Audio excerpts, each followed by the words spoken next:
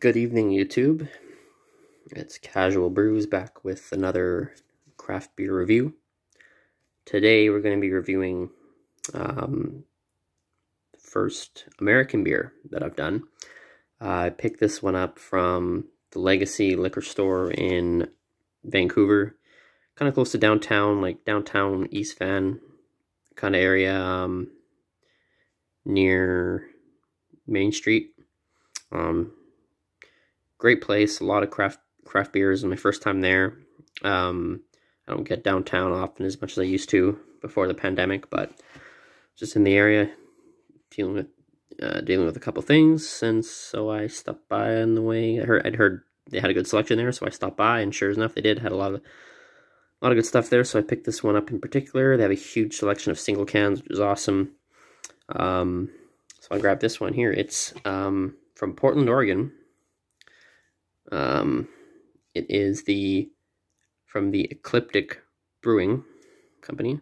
See just a tiny little mark here. Yes, I know it's backwards still. I gotta figure out how to. Yeah, eventually get a camera, so I'm not recording my phone and you know. But uh, so it's from Ecliptic Brewing in Portland. It's their Vega IPA series. Um, says IPA number ten, so I guess they have a series of this IPA, different, um, yeah, maybe different ones under this Vega series that they have here. I haven't done any research, sorry. I'm just reviewing based off of like sheer, oh, wow, like sheer surprise. I'm not going to dive in and try to spoil my first reaction. So just the Vega IPA series, IPA number 10. See how she goes. I have no idea about anything about this brewery. I don't know if it's well reputable in Portland and US, if it's a popular brewery or whatnot. I just saw it. It stood out to me. The can, this kind of sleek little black can stood out to me in their uh, single single beer cooler they had there. They had a, ton. I picked up a few. I'll probably be doing um, a couple more reviews of some of the ones that I bought there the other day. So, yeah, so this is the first one I'll be reviewing from those beers that I bought the other day, single cans. So, here we go.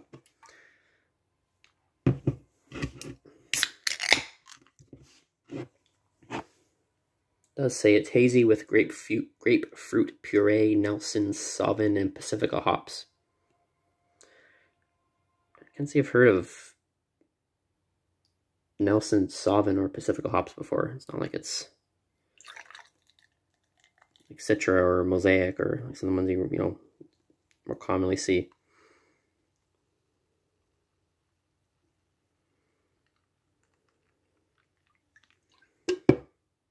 Holy, very sedimenty.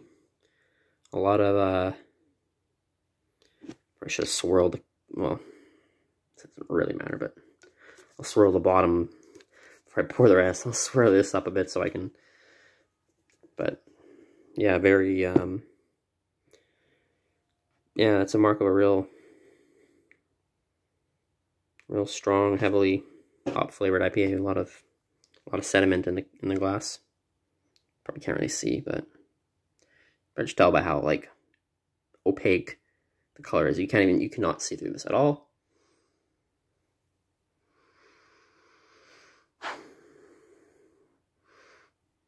Can't really get a good smell of it. I kind of have allergies right now, but let's try it.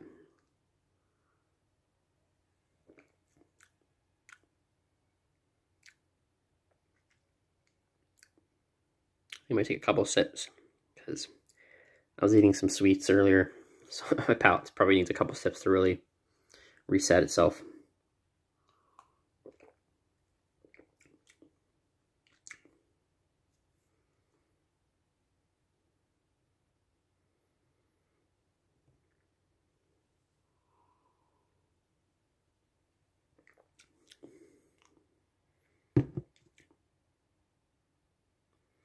I mean, the flavor profile doesn't really, like, hit you so hard.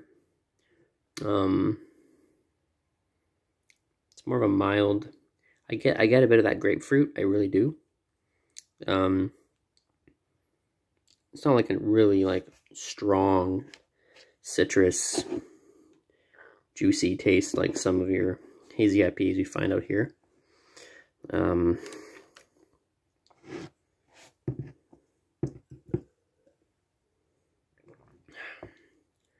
not getting a ton of flavor notes like I usually get from an IPA.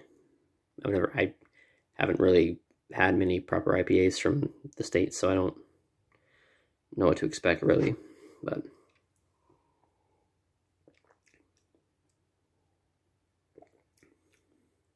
the more I drink it, the more I get a little more of that flavor. It's, it's more subtle though. It's definitely, it's good though. It's smooth. You know, it doesn't really knock your socks off with flavor like, let's say like the Twin Sails, like Juice Plus, or, you know, like the Juice Box I just reviewed, or, um, some of the more like heavy IPAs, like I can think like the Four Winds IPA, like really just strong, strong flavor. Some more subtle. Um, but it's still good. It's still smooth, and I can definitely get like a, the background of like the the grapefruit flavor really comes through, especially on the aftertaste. It's good. I love I love grapefruit, so it's it's, it's a nice little, you know, washes down. It's uh, I don't know if it has the IB. It's a six point five percent ABV. Um, IBUs are not on there, I don't think. Um, yeah, I mean, it's solid. Solid. Um,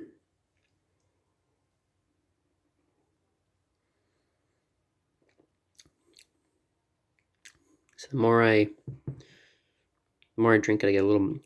It's it's like a has a lot of the same flavors that I'm used to, but they're just a little more subtle, which honestly, on some occasions can be fine. Like sometimes, you know, it definitely makes it a little more easy drinking. It's like a good, probably a good like summery beer just out in the patio or something. It's hot as fuck and you just want to have an easy drinking IPA. Those two don't go together always, but you know, it's uh yeah, it's very smooth, very solid. Doesn't blow me away by any stretch, but I do like it.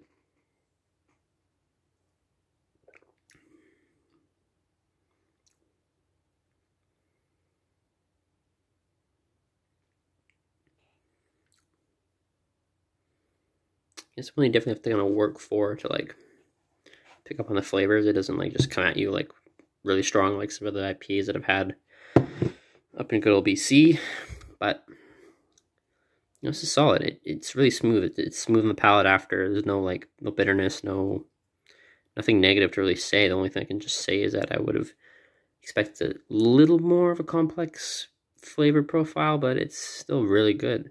Um, I'll wrap it up. I'm feeling a 7.2. 7.2 good score by all accounts. Um, yeah, not bad at all. Um, just not as flavorful as I would have wanted. I don't know, but for a lot of people, that's probably what they they don't really need a ton of flavor. I mean, it's a beer for crying out loud. Like you don't you don't you're not. It's not like you're drinking like a fifty dollar bottle of wine. You want all these flavors. You're just drinking a beer, right? So for a lot of people, it's this would be what they want. You know, I love my heavy IPAs. I love my heavy hazy hazy IPAs, hazy pale ales, heavy flavor. It doesn't have a lot of the heavy flavor, but shit, it's pretty good still.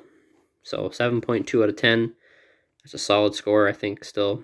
Um, once again, that's from Ecliptic Brewing in Portland, Oregon, US of A.